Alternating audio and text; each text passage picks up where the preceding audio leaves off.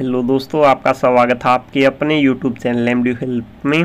आज हम इस वीडियो में master of library and information science के जो स्टूडेंट हैं थर्ड सेमेस्टर सेकेंड ईयर के जो स्टूडेंट हैं, जिन्होंने डिस्टेंस से एडमिशन ले रखा है महर्षि दयानंद यूनिवर्सिटी रोहतक में।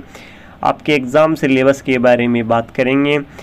थर्ड सेमेस्टर में आपके कौन कौन से सब्जेक्ट रहेंगे? थ्योरी का पेपर कितने नंबर का होगा? असाइनमेंट कितने नंबर की जमा होगी? कितने घंटे का पेपर होगा?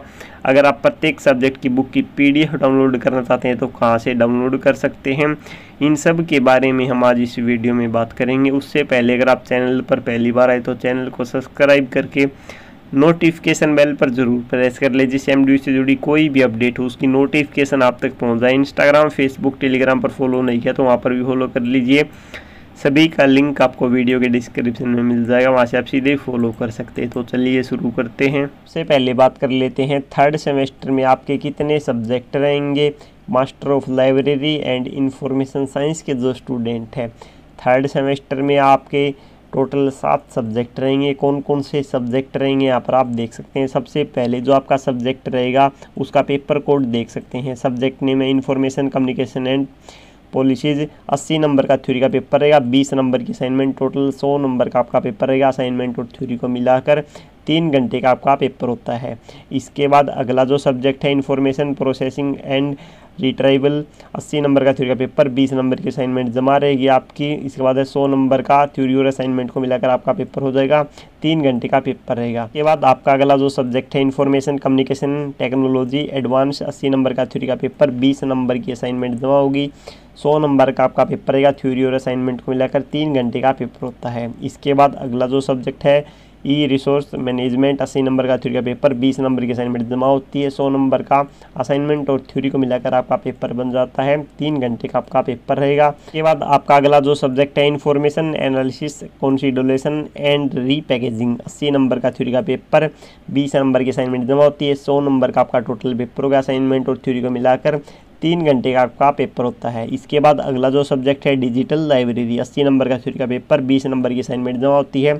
टोटल आपका सौ नंबर का पेपर हो। गया असाइनमेंट और थ्योरी को मिलाकर तीन घंटे का पेपर होता है, जो आपका लास्ट सब्जेक्ट रहेगा डाइजेस्टर मैनेजमेंट अस्सी नंबर का थ्योरी पेपर बीस नंबर की असाइनमेंट जमा होती है टोटल सौ नंबर का पेपर होगा। तीन घंटे का आपका पेपर होता है। Master of library and information science के डिस्टेंस के थर्ड सेमेस्टर के जो स्टूडेंट हैं। आपके टोटल सात सब्जेक्ट रहेंगे। थर्ड सेमेस्टर में सभी सब्जेक्ट जो आपका थ्योरी का पेपर अस्सी नंबर का रहेगा।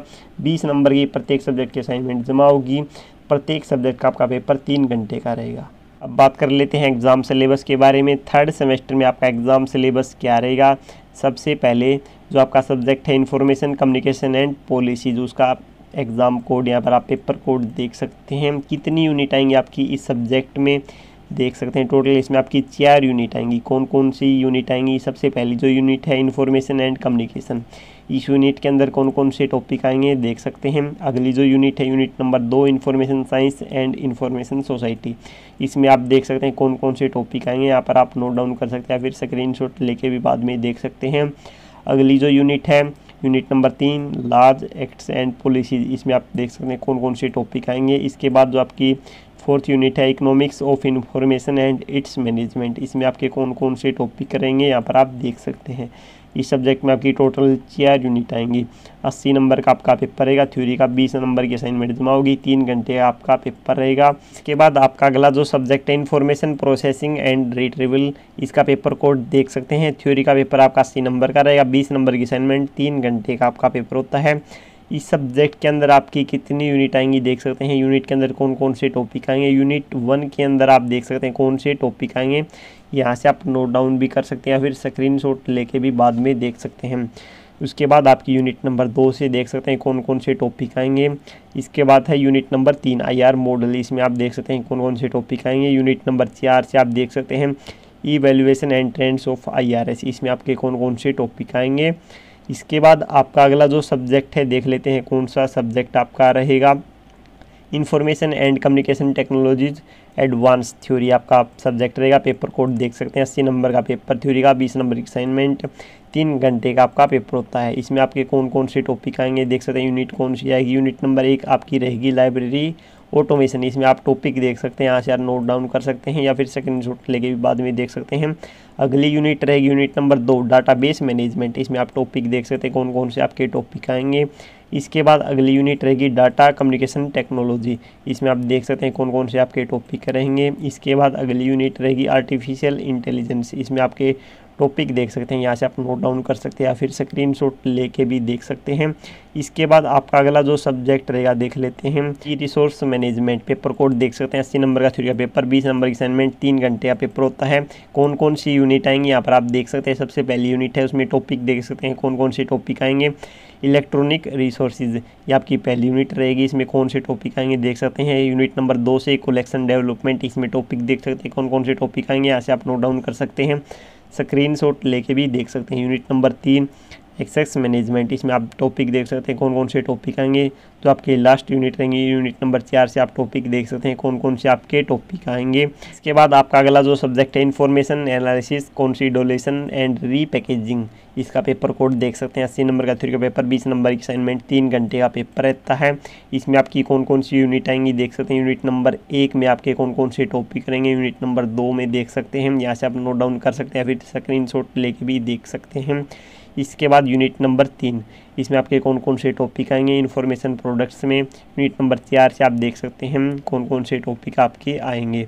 इसके बाद आपका अगला जो सब्जेक्ट है डिजिटल लाइब्रेरी पेपर कोड देख सकते हैं, अस्सी नंबर का थ्री का पेपर बीस नंबर की असाइनमेंट तीन घंटे का पेपर रहेगा। इसमें आपकी कौन कौन सी यूनिट आएँगी, कौन से टॉपिक आएँगे?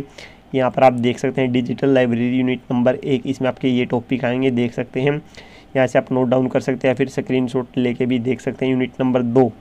टॉपिक देख सकते हैं यूनिट नंबर तीन यूनिट नंबर चार, यहाँ से आप नोट डाउन कर सकते हैं, फिर बाद में भी स्क्रीन शॉट लेके या फिर वीडियो को पोज करके भी देख सकते हैं। इसके बाद जो आपका लास्ट सब्जेक्ट रहेगा थर्ड सेमेस्टर का पेपर कोड यहाँ पर आप देख सकते हैं डाइजेस्टर मैनेजमेंट आपका सब्जेक्ट रहेगा, तीन घंटे का पेपर है बीस नंबर की असाइनमेंट अस्सी नंबर थ्री का पेपर टोटल आपका सौ नंबर का पेपर हो गया।